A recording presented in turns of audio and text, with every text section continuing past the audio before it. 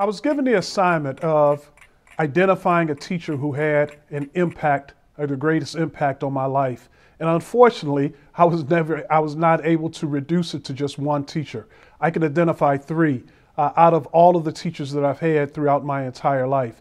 And I've really been blessed to have great teachers in every level of schooling and education, and I include elementary school, high school, college, and even my master's degree. I never had a bad teacher, and maybe that's an anomaly, but it's true. Um, but the three teachers that I would like to identify would be those who were in my elementary school, uh, Lewis Champlin uh, Elementary School in Chicago. I went to an all black elementary school on the south side of Chicago, and I had absolutely wonderful teachers there. The three I'd like to identify as having the greatest impact on me were Mr. Shannon, Mr. Broyles, and Mr. McDowell.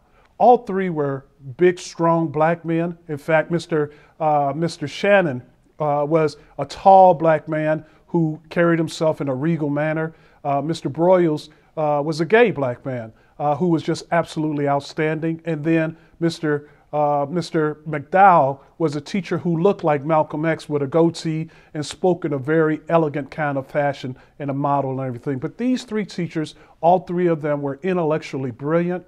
All three of them were great role models because they were strong and they were black men. And then finally, all three of them were great teachers. Mr. McDowell, the coolest thing about him was to get us interested in reading the newspapers, Every day in class, we were given the Chicago Tribune.